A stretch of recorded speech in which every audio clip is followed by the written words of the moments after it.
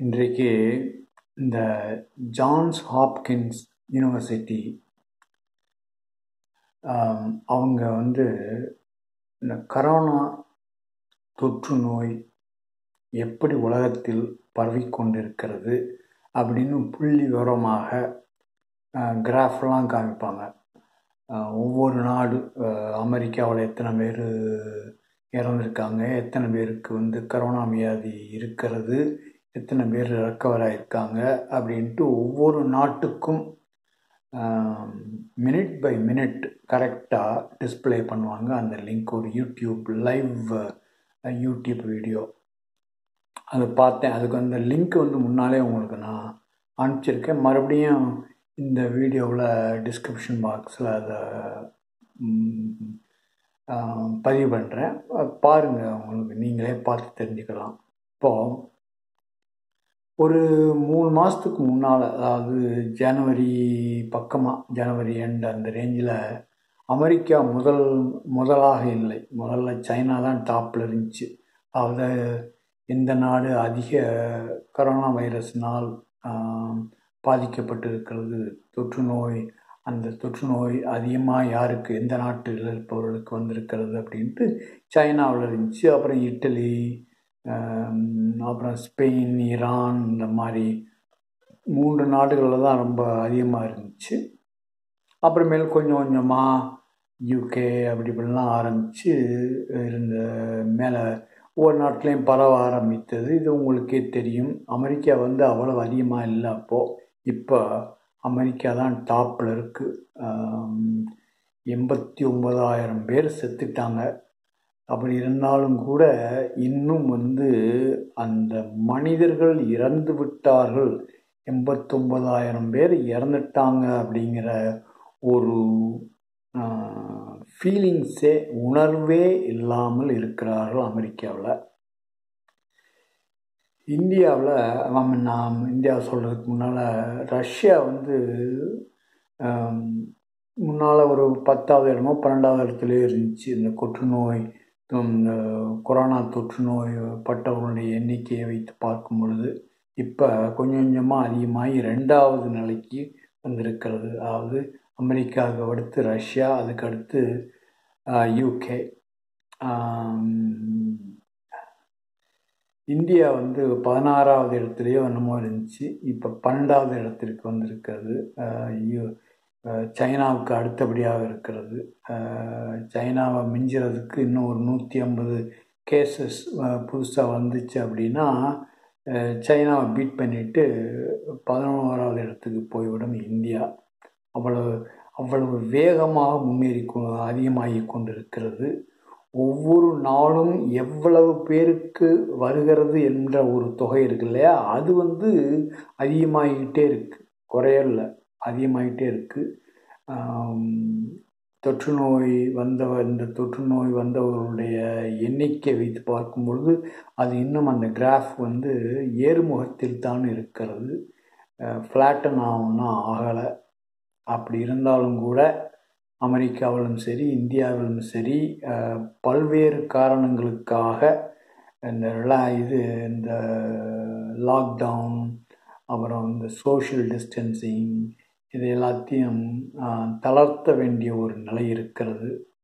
இந்தியாவில இந்தியாவிலையாவது பரவாயில்ல.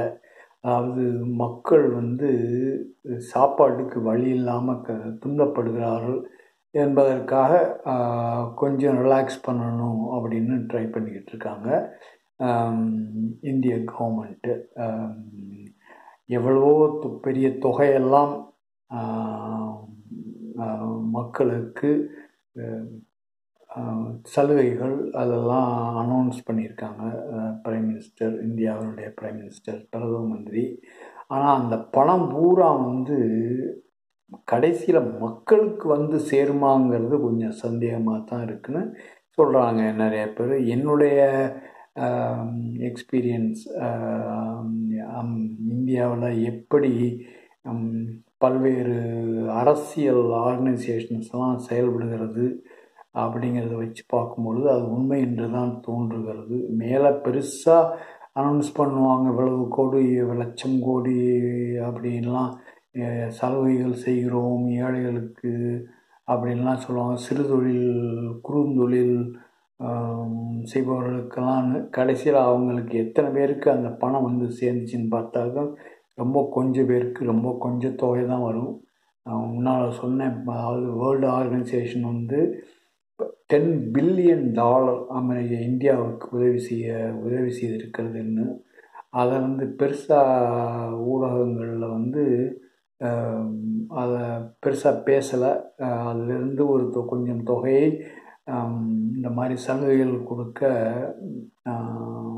Prime minister வந்து அரேஞ்ச் பண்ணியிருக்கிறாரு. நல்ல ஒரு செய்தி. ஆனால் அந்த பணம் பூரா ஏழைகளுக்கு தேவைப்பட்டவர்களுக்கு போய் சேருமான்னு தெரியலை. இடையில இருக்கிறவங்கள சூட்டிக்கு வாங்கும் போல தான் தெரியுது. இப்போதைக்கு இருக்கும் பொழுது அமெரிக்காவில் வந்து அமெரிக்காவில் பிச்சை எடுக்கிறவங்கள பார்த்துருக்கீங்களா நீங்கள் அது சாப்பாட்டுக்கு வழி இல்லாமல் திண்டாடும் ஃபேமிலிஸ் குடும்பங்களை பார்த்துருக்கீங்களா? நிறைய வந்திருக்கு இப்போ. அவங்கள்ட்ட என்ன பண்ணுறாங்க அப்படின்னாக்கா பேக்கேஜ் பேக்கேஜாக எல்லா விதமான உ- உணவுகள் அதாவது கெட்டு போகாத உணவுகள் பேக்கேஜ் பண்ணி அனுப்புகிறாங்க எத்தனை குழந்தைகள் இருக்குது அப்படிங்கிறத பொறுத்து பலவிதமான குடும்பங்களுக்கும் உதவி செய்து கொண்டிருக்கிறார்கள். அந்த ஃபோ அந்த ஃபுட் அசிஸ்டன்ஸ் இல்லை அப்படின்னாக்கும் நிறைய இப்போ நிறைய பேர் சாகிற ச- நிலையில் இருக்கிறார்கள். ஆனால் இங்கேயும் அதே ப்ராப்ளம் தான். யார் யாருக்கு அந்த இது போகுது அந்த உணவு உதவியெல்லாம் போகுதுன்னா அங்கேயும் கரப்ஷன் இப்போ இருக்குது இந்தியாவில் அளவுக்கு அவ்வளோ கரப்ஷன் இல்லை. அப்படி இருந்தாலும் இங்கேயும் கரப்ஷன் தான் இருக்குது இதுக்கடையில் எங்களுக்கு வந்து ஆஹ், நீ யாரா சொல்கிறதுக்கு சோஷியல் டிஸ்டன்சிங்லாம் பண்ணணும் சமூக வலைகள்லாம் இருக்கணும் மாஸ்க் அணியணும் நீ யாரா சொல்கிறதுக்கு எங்களுக்கு தனி ஒரு ஃப்ரீடம் வேண்டும். அது எங்களுடைய பிறப்புரிமை. நாங்கள் என்ன வேணாலும் செய்வோம் அப்படின்ட்டு சில மக்கள் ஆரம்பித்திருக்காங்க. ஏன்னா அவங்களுடைய இனம் வந்து பாதிக்கப்படலை அதிகமாக இந்த கொரோனா வைரஸ்னால் இதுவரையில். மற்றவர்கள் அதாவது இந்த கருப்பு இனத்தைச் சேர்ந்தவர்கள் இந்த தென் அமெரிக்காவிலிருந்து இந்த வர்ணவங்க லெட்டினோஸ் அப்படின்னு சொல்லுவாங்க. அவங்களுக்கு தான் அவங்க தான் நிறைய பேர் செத்துருக்காங்க ஆனால் ஏன்னா அவங்க தான் ரொம்ப ஏழை ந- ஏழ்மை நிலையில் இருந்த இருக்கிறாங்க. மெடிக்கல் ஃபெசிலிட்டிஸ்லாம் இல்லாமல் வாழ்ந்து கொண்டு இருந்ததுனால அவங்களுடைய உடல்நிலை ஏற்கனவே சரியில்லை. இந்த கொரோனா வைரஸில் வந்த உடனே நிறைய பேர் அதனால் அஃபெக்ட் ஈஸியாக அஃபெக்ட் பண்ணி செத்துக்கிட்டு இருக்காங்க. அவங்க சாகட்டும்டா சத்தா சா நல்லது தான் நம்மளுக்கு. அவங்க ஜனத்தை அவங்களுடைய ஜனத்தை குறைஞ்ச நம்ம மெஜாரிட்டி ஆகும் அப்படின்ட்டு சில இனத்தவர்கள் நினைத்து கொண்டிருக்கிறார்கள். இந்தியாவை எடுத்துக்கிட்டாக்கும் அதாவது என்ன சொல்கிறது சினிமாவை எடுத்துக்கோங்க. சினிமாவெல்லாம் இப்போ முடங்கி கிடக்கிறது. இப்போ இந்த நாடகங்கள்லாம் டிவியில் வர நாடகங்கள்லாம் அதிகமாக வந்துக்கிட்டு இருக்காங்கன்னு தெரியலை. புதுசு புதுசாக விடுறாங்களா? பழையதே ஓடிக்கிட்டு இருக்காங்களான்னு தெரியல. ஆனால் சினிமாவில் எவ்வளவு அசிங்கங்கள். குழந்தைகளோடு பார்க்கும் நிலையிலையாக இருக்கிறது. இப்போ இருக்க சினிமாக்கள்லாம். அதாவது ஆன்மீகம் பேசுகிறார்கள் சில பேர். அவங்களே வந்து குடிக்கிற மாதிரி சினிமாக்கா காமிக்கிறாங்க கெட்ட செயல்கள்லாம் எக்கச்சக்கமாக காமிக்கிறாங்க. அவங்க அவங்க நடிக்கிற படத்துலேயும் எல்லா படத்துலேயும் நிறையா எக்கச்சக்கமாக எப்படி அதாவது திருடர்கள் எல்லாம் சினிமாவில் இருந்து கற்றுக்கொள்ள வேண்டியவங்க கற்றுக்கொள்கிற க கற்றுக்கொள்கிறார்கள். எப்படி திருட்டு வேலை செய்கிறது செய்வது என்று அப்படிங்கிற அளவுக்கு ரொம்ப துல்லிதமாக கெட்டவர்களுடைய திறனையெல்லாம் காண்பிக்கிறார்கள். சினிமாவில். சினிமா தான் இப்போ ஒரு நல்ல ஊடகம். அதை நல்ல வழியில் பயன்படுத்தினா ஆனால் நல்ல வழியில் பயன்படுத்துறதில்ல. ரொம்ப மோசமான வழியில் பயன்படுத்திக்கிட்டு இருக்காங்க. இதையெல்லாம் கேட்பதற்கு யாரும் இல்லை சொல்ல முடியாது. ஏன்னா பாலாபிஷேகம் சினிமா நடிகர்களுக்கு பாலாபிஷேகம் பண்ணி கோயில் கட்டி வாழும் ரசிகர்களை மாற்றம் மா அவளை எளிதாக மாற்ற முடியாது. எங்களுக்கு அந்த ஃப்ரீடம் தனி உரிமை வேண்டும் அப்படின்னு தான் சொல்லுவாங்க. அமெரிக்காவில் சொல்கிற மாதிரியே தான்.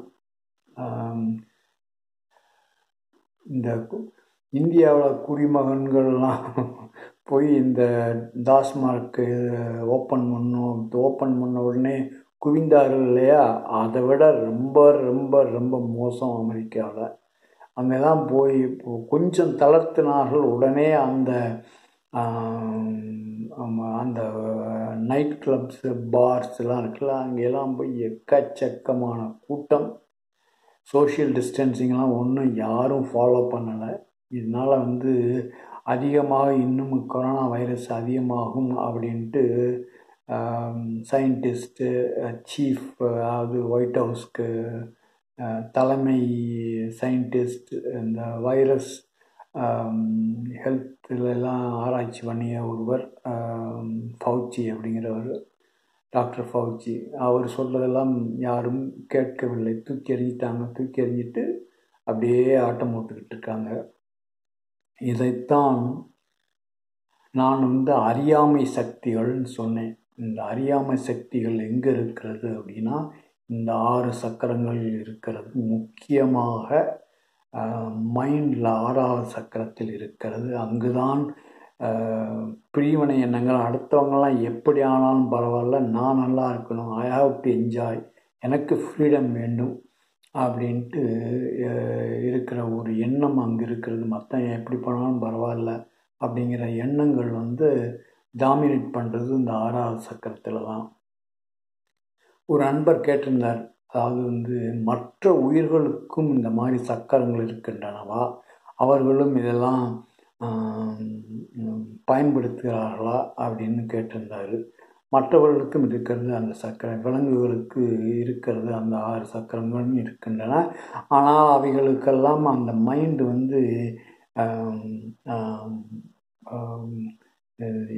எனர்ஜியை வந்து இந்த சக்தியை வந்து கீழே இருக்கும் சக்கரத்திலிருந்து மேலே கொண்டு வர வேண்டும் என்றெல்லாம் ட்ரை பண்ணுவதில்லை முயற்சி செய்வதில்லை. ஆனால் மனிதர்களுக்கு அந்த ஒரு அதை யாரோ ஒருவர் கண்டுபிடித்திருக்கிறார் ரொம்ப நாளைக்கு முன்னால். அதாவது யோகம் யோகாசனம் வந்து உடம்பை நல்லபடியாக ஆரோக்கியமாக வைத்துக்கொள்வதற்கு மிகவும் நல்ல ஒரு பயிற்சி உடல் பயிற்சி அவ்வளவுதான். ஆனால் அது அந்த சக்கரங்கள் இருக்க எனர்ஜி கீழே இருக்கிற சக்கரங்கள் எனர்ஜி எல்லாத்தையும் மேலே கொண்டு வர்றேன் அப்படின்னு சொல்லிட்டு ஆரம்பித்தாங்கன்னா நல்லது இல்லை. நான் திரும்ப திரும்ப சொல்லி கொண்டிருக்கிறேன். அதாவது இந்த அறியாமையில் இரு இருப்பவர்களுக்கு வந்து மனதில் இருக்கும் அந்த சக்தி ஆறாவது சக்கரத்தில் இருக்கும் சக்தி இருக்கு இல்லையா? அது வந்து எக்ஸைட் பண்ணால் அதிகமாக்கினா அதில் இருக்க அறியாமைகளுடைய அறியாமைகள் அதிகமாகும். அதனுடைய வீரியம் வேகம் அதிகமாகும். அதனால் பலவிதமான தவறான வே- கருத்துக்கு தவறான போக்கில் போவார்கள். சில பேருக்கு அகம்பாவம் வரும். அந்த காலத்தில் இப்போ கூட இதுக்கு முன்னால் வீட்டு வீடியோவில் சொன்னேன் இல்லையா? இந்த வாசி யோகம்லாம் அகத்தியன் சொல்லியிருக்கிறாரு. அதை ஃபாலோ பண்ணலாமான்னு ஒரு நண்பர் கேட்டிருந்தார் அப்படின்ட்டு. அதெல்லாம் வந்து எனக்கு நான் படித்ததில்லை. இந்த வாசி யோகம் அகத்தியர் சொன்னாரா? எந்த நூலில் சொல்லியிருந்தார் சொன்னார்னு சொன்னாருன்னே நீங்கள் வச்சுக்கோங்க. அந்த காலத்தில் வந்து அகத்தியர் இருக்க சமயத்தில் மக்கள் வந்து அந்த குருன்னு அதாவது இந்த முனிவர்களுடைய பாதுகாப்பில் அவருடைய கண்காணிப்பில் இந்த மாதிரியெல்லாம் செய்தார்கள். அவர்களுக்கு வந்து அறியாமையில் இருப்பவர்களை மட்டும்தான் தங்களுடைய சிஷ்யர்களாக சீடர்களாக ஏற்றுக்கொண்டு அவர்களுக்கு சொல்லி கொண்டு சொல்லி கொடுத்துருக்கலாம். ஆனால் இப்போ அப்படி இல்லை. எல்லா பேரும் வந்து புஸ்தகத்தில் வாசியோம்னு என்ன சொல்லியிருக்கிறாங்க அப்படின்னு சொல்லிட்டு இப்போ லெக்சர் கொடுக்குறாங்க. யாரும் அதை அதை வைத்து ஏழாவது சக்கரம் திறந்தார்களா என்று எனக்கு தெரியவில்லை. இதுவரை ஏழாவது சக்கரம் திறந்ததாக யாரும் திறந்ததாக என எனக்கு தெரியவில்லை. இது தெரிந்தால் சொல்லுங்கள் என்று தான் மறுபடியும் மறுபடியும் சொல்லிக் கொண்டிருக்கிறேன் என்னுடைய பழைய வீடியோ பல வீடியோக்களில். அந்த மாதிரி அவர்களே அந்த இதெல்லாம் உபயோகப்படுத்தி அந்த சக்கரத்தை எக்ஸைட் பண்ணி யாராவது சக்கரம் திறக்க முயன்று முயன்று முயன்று முயன்று அவர்கள் சொல்லித்தந்தால் பரவாயில்ல. புஸ்தகத்தில் படிச்சுட்டு சொல்லி சொல்லிக்கிட்டு இருக்காங்க. லெக்சர் கொடுத்துக்கிட்டு இருக்காங்க. அதை வைத்து பணம் பண்ணி கொண்டு இருக்கிறார்கள் புகழ் தேடி கொண்டு இருக்கிறார்கள் சில பேர் அறியாமையினால் அவங்க வந்து இந்த மாதிரிலாம் சொன்னால் மக்களுக்கு நல்லது செய்கிறோம் என்று நினைத்து கொண்டு பேசிக்கொண்டிருக்கிறார்கள். அதை கேட்டுட்டு அதில் ஆர்வம் அதில் வயப்பட்டு சில பேர் வந்து நானும் வந்து இதெல்லாம் செய்கிறேன் என்று நினைத்து கொண்டு செய்ய முய முயன்று கொண்டு இருக்கிறார்கள் முன்னால் வந்து இந்த இந்த யோகிகள் இந்த சித்தர்கள் இவர்களுடைய இவர்களை இவர்களுடைய குழுவில் குழுன்னு சொல்லக்கூடாது. இவ இதில் ஆர்வம் உள்ள நண்பர்கள் சில பேர் இருந்தாங்க. க சில கேள்வியெல்லாம் கேட்பாங்க. அவங்களாம் எங்கே போனாங்கன்னு தெரியல.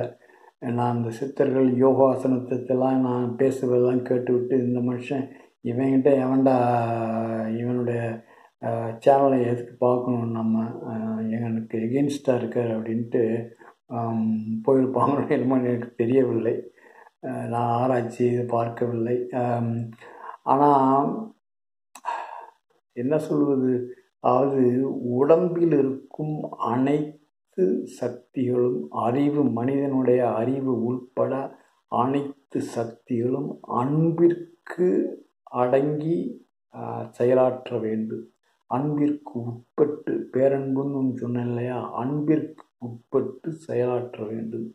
அப்பொழுதுதான் ஒரு நீதி நிறைந்த ஒரு வாழ் ஒரு உலகம் உண்டாகும் வாழ்க்கை முறை அமையும். இப்போது ஒரு சின்ன குழந்தை இருக்கு வச்சுங்களேன். ஒரு ஒரு டாட்லர்னு சொல்லுவாங்க. அதாவது தவழ்ந்து வரும் குழந்தை. அது அப்பாவையோ அம்மாவையோ பார்த்த உடனே அது எவ்வளவு வேகமாக த தவழ்ந்து வருகிறது. அதனுடைய முகத்தில் இருக்கும் அன்பை நீங்கள் பார்த்துருக்கீங்களா? அதனுடைய கண்ணை பார்த்துருக்கீங்களா? முகத்தில் இருக்கும் மகிழ்ச்சியை பார்த்துருக்கீங்களா? அதனால தான் சொல்கிறேன் அந்த அன்புக்கும் ஆனந்தத்திற்கும் அதாவது பிரிவினை இல்லாத ஆனந்தத்திற்கும் அன்பிற்கும் நிறைய தொடர்பு இருக்கிறது. ஆனந்தம் அந்த அன்பு தான் ஆனந்தம் ஆனந்தம் எங்கே இருக்கும் என்றால் அந்த அன்பு இருக்கும் இடத்தில் தான் அது தவழ்ந்து வரும்போது அந்த குழந்தைக்கு குழந்தைய பார்த்தா உங்களுக்கு எவ்வளவு மகிழ்ச்சியாக இருக்கிறது. எல்லா துன்பமும் போய்விடுகிறது. ஒரு அம்மாவுக்கோ ஒரு அப்பாவுக்கோ. அதை பார்த்த உடனே அதை ஏன் உலகத்தில் செயல் அதை அதை அடி அதை அதை வைத்து பாடம் கற்றுக்கொண்டு ஏன் மனிதர்கள் வாழக்கூடாது? எதுக்குப்பா இந்த மாதிரி? அன்பு அன்பு என்பது நீங்கள் நான் மறுபடியும் மறுபடியும் சொல்கிறேன் நீங்கள் யோகாசனம் பண்ணி ஏழாவது சக்கரத்தை திறந்து என்ன செய்தாலும் சரி ஏழாவது சக்கரத்தை திறக்க முடியாது அறியாமையை அழி அழித்தால் ஒழிய ஆனால் நீங்கள் முயன்றீர்களானாலும் கூட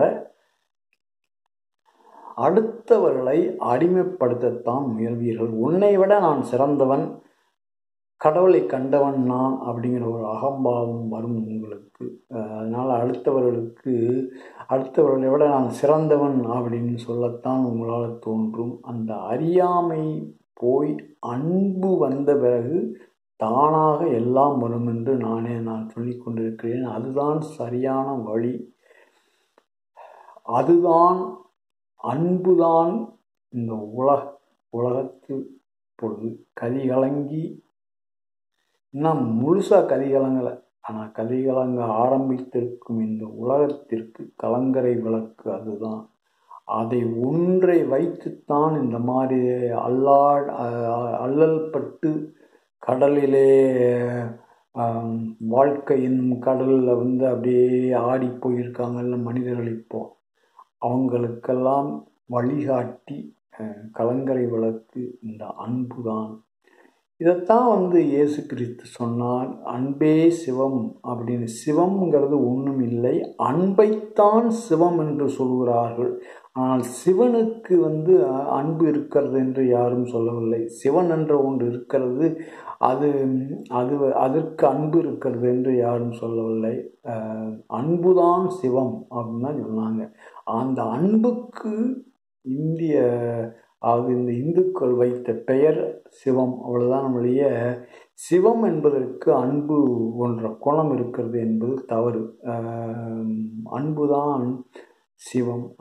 இயேசு கிறிஸ்துவும் அதைத்தான் சொல்றார் எல்லா மதத்திலும் அதைத்தான் சொல்லி கொண்டிருக்கிறார்கள். ஆனால் அதையெல்லாம் விட்டுவிட்டு மனிதர்கள் செயல்பட்டு கொண்டிருக்கிறார்கள். ஆனால் இப்படியே போய்கிட்டு இருந்தால் இன்னும் மனிதர்கள் துன்பப்படத்தான் போகிறார்கள். நீங்கள் கவனமாக இருக்க வேண்டும்.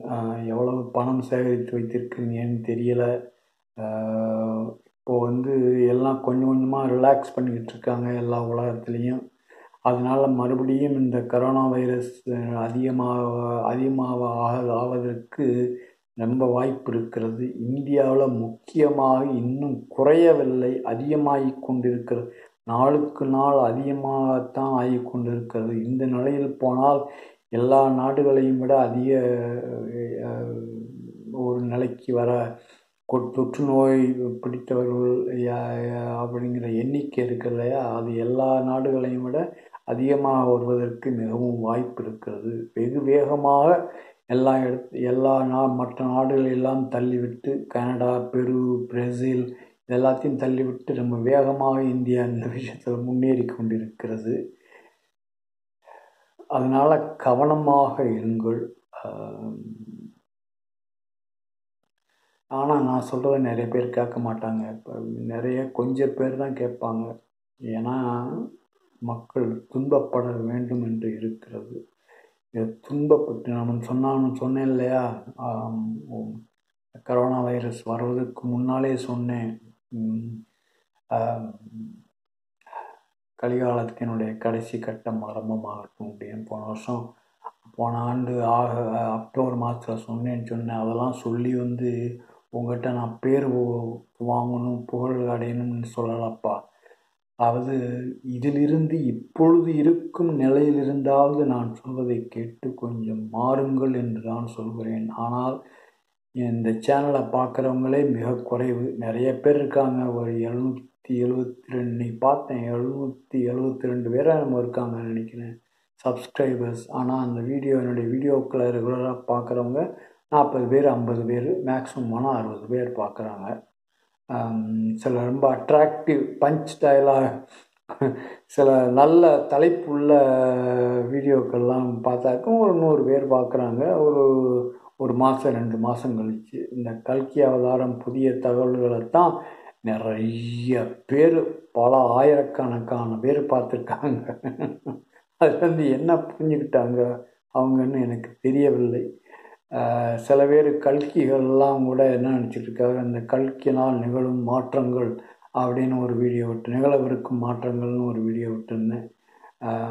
அந்த மாதிரி வீடியோக்கள்லாம் எடுத்து சேகரித்து வைத்திருக்கிறாங்கன்னு நினைக்கிறேன். இந்த மாதிரிலாம் நடக்க போகிறது அப்படின்ட்டு. வருத்தமாகத்தான் இருக்கிறது இந்த உலகத்தின் நிலையை பார்க்கும் பொழுது ஆனால் வேறு வழி இல்லை. அறியாமை சக்திகள் இந்த ஆறு சக்கரங்களில் இருக்கும் ச- அறியாமை சக்திகள் தான் இப்பொழுது அதைத்தான் நான் அசுர சக்திகள்னு சொன்னேன். அந்த அறியாமை சக்திகள் தான் இப்பொழுது டாமினேட் பண்ணி கொண்டிருக்கிறது. இந்த மூன்று ஒளிகளும்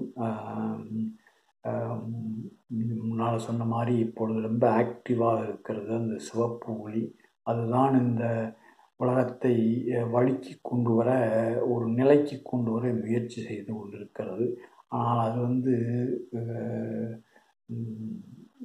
கடகடன்னு செய்ய முடியாது. ஏன்னா மக்கள்லாம் வந்து ஆடி போயிடுவாங்க அதனால் கொஞ்சம் கொஞ்சமாக மாற்ற முயன்று கொண்டிருக்கிறது. ஆனால் யாரும் அதை கேட்பதற்கு தயாராக இல்லை. எல்லாரும் எங்கு பார்த்தாலும் அறியாமை சக்திகள் தான் இன்னும் ஆட்சி செய்து கொண்டு இருக்கிறது ஒற்றுமை இல்லை. மனிதர்களுக்கு மனிதர்களிடம் மனிதர்கள் அன்பு இல்லை. பலவிதமாக இனத்தால் மொழியால் பிறந்த நாட்டை வைத்து இனத்தை வைத்து இன்னும் பலவேறு பலவேறு விரி பிரிவினை எண்ணங்களை வைத்து மக்கள் துன்ப வாழ்ந்து கொண்டிருக்கிறார்கள்.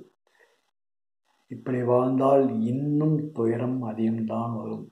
முன்னால் சொன்னேன் அமெரிக்கா வந்து அழியப் போகிறது என்று. அப்படித்தான் அந்த பாதையில் தான் போய்கொண்டிருக்கிறது இப்பொழுது அமெரிக்கா. அது இந்த எந்த நாடு உலகத்தில் தலைமை பகுதியை வகிப்பது? அதாவது எந்த நாடு லீட் பண்ணுவது மற்ற நாடுகளை அப்படிங்கிற ஒன்று மாற்றம் ஏற்படவிருக்கிறது. அமெரிக்காவின் கையிலிருந்து அது நழுவி கொண்டிருக்கிறது அந்த தலைமை நிலை மற்ற நாடுகளுக்கு. அந்த எந்த நாடு அதை பிடிக்கும் அப்படின்ட்டு உங்களுக்கே தெரியும். இந்தியா அந்த நிலைக்கு வரணும்னாக்கும் அது அவ்வளவு எளிதல்ல. ஏன்னா பிரிவினை எண்ணங்கள் இந்தியாவில் தலைவிரித்து ஆடுகிறது. சொல்லிக்கிட்டு இருக்காங்க. நாங்கள்லாம் வந்து சனாதன தர்மத்தை ஃபாலோ பண்ணுகிறவங்க அப்படின்ட்டு அதெல்லாம் ஒன்றும் இல்லை எல்லாம் புத்தக வடிவத்தான் இருக்கிறது. நடைமுறையில் ஒன்றும் இல்லை. எவ்வளவு சொன்னாலும் கேட்க மாட்டார்கள் மனிதர்கள். அதனால் இந்த சிவப்பு ஜோதி அழிவு தொழிலை இன்னும் அதிகமாகத்தான் செய்ய போகிறது. இந்த பேண்டமிக்னு சொன்னாங்கள்ல இந்த கரோனா வைரஸ் அது வந்து எண்டமிக் அப்படி ஆமா மாறுவதற்கு மிகவும் சா சாத்தியம் இருக்கிறது வாய்ப்பு இருக்கிறதுன்னு சொல்லிட்டு இருக்காங்க விஞ்ஞானிகள். என்ன எண்டமிக் அப்படின்னா ஒவ்வொரு ஒவ்வொரு தடவையும் வந்து கொண்டே இருக்கும். ஒவ்வொரு ஆண்டும் அது மறுபடியும் வந்து கொண்டே இருக்கும். அது வேக்சின் கண்டுபிடித்தாலும் கூட அது வந்து கொண்டு தான் இருக்கும். அப்படி வேக்சின் வந்தாலும் அமெரிக்கா வந்து அமெரிக்காவினுடைய இதில் தான் அது முதல்ல வரும் என்று இப்போதைக்கு தோன்றுகிறது. ஏன்னா அவங்ககிட்ட தான் பணம் இருக்கிறது. நிறைய வேக்சினை